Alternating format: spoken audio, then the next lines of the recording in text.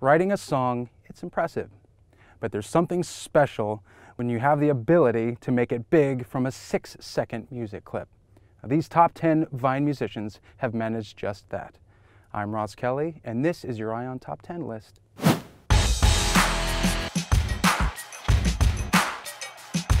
Now, kicking off our list is number 10, Sonyae Elise. This songstress is known for her one-woman a cappella vines. She layers multiple clips of herself snapping, clapping, and rapping to create truly impressive work. The more the merrier indeed. Our ninth viner can only be described as a musical prodigy.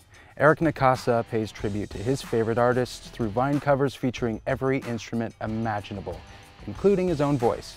Some people have all the talent.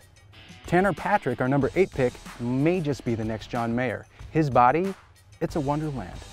Scroll through his Vine page for acoustic jams, collabs with other Vine singers, and more. Number seven on our list, Avery Wilson, is truly inspiring.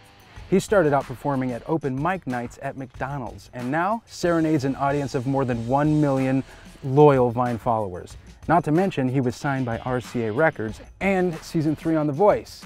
Now that's what I call an extra value meal.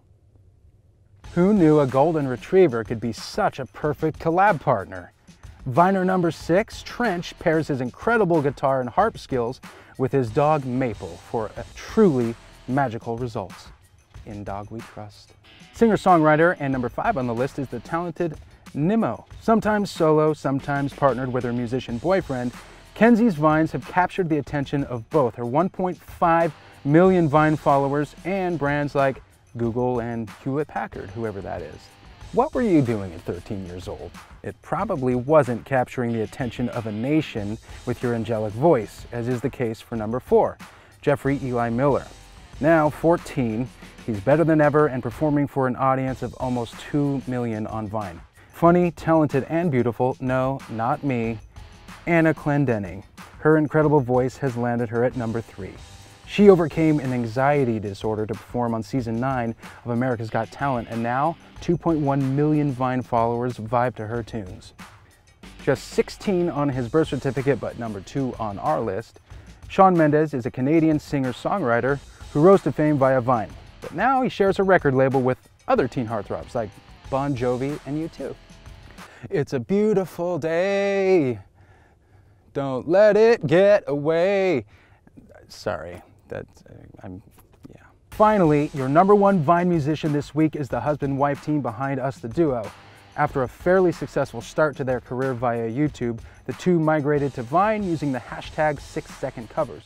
Within 30 days, they had more than a million followers. Three years, they snagged a record deal. By the end of the summer, they'll probably topple Jay-Z and Beyonce for global domination. As always, remember to like this video, comment on your own favorite 6-second maestros, and subscribe to the A-List Daily channel. And to make your own brand stories sing like a bird, visit ion.co, the influencer agency. I'm Ross Kelly, and this was your Ion Top 10 list.